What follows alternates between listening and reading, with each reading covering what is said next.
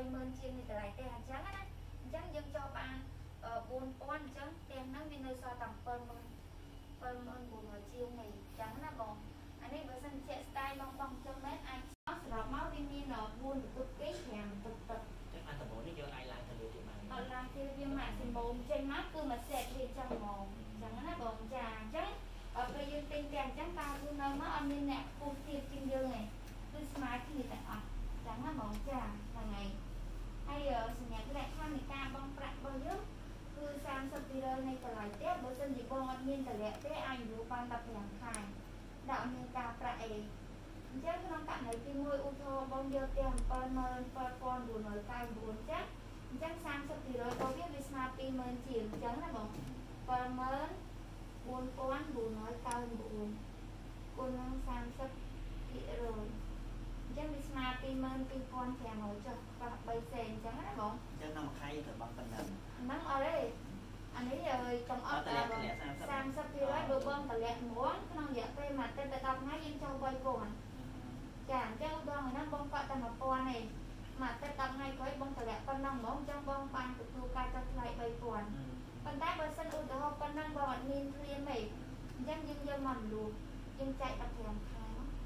ញ្ចឹងមួយខែបងបង់1500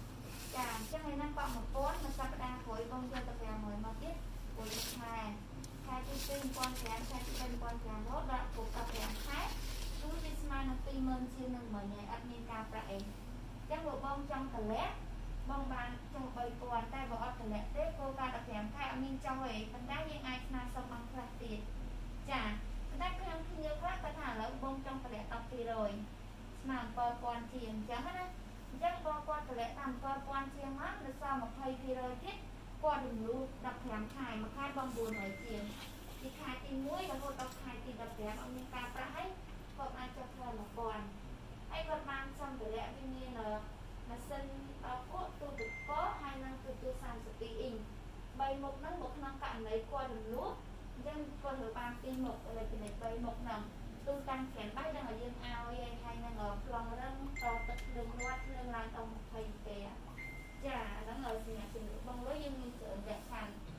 ចង់ដាក់ក៏បានចង់លូក៏បានអត់គិតការប្រាក់អេ15ខែចា15ខែហ្នឹងគឺយើង